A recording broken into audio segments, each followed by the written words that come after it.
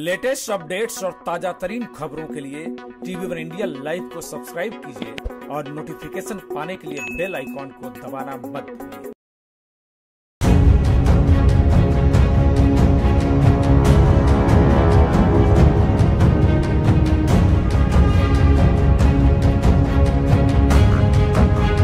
मुंबई के भाटिया अस्पताल से सटी 20 मंजिल इमारत की 18वीं मंजिल पर आग लगने से सात लोगों की मौत। और कई लोग घायल।